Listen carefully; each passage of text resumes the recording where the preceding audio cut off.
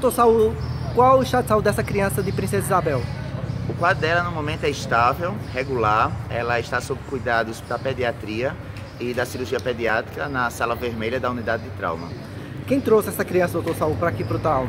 A criança foi trazida pelo SAMU, por uma enfermeira e um médico da unidade de Princesa Isabel, que foi deslocado juntamente com a criança e a mãe, inicialmente para Patos e depois, no segundo momento, aqui para Campina Grande. Qual o estado de saúde dela, doutor?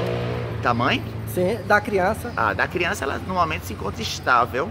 Ela não está, ela respira espontaneamente, sem oxigênio. No entanto, se encontra ligeiramente pálida e aí vai ser feito um exame de sangue para saber a necessidade de repor a questão sanguínea e o ferimento da cabeça da arma branca já está suturado e a tomografia que foi trazida de Patos não mostra nenhuma lesão cerebral. Então não há necessidade de cirurgia? No momento não há indicação de nenhum procedimento cirúrgico.